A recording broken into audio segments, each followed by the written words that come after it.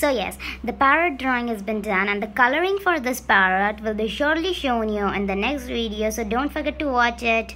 Thank you till then. Bye bye. See you.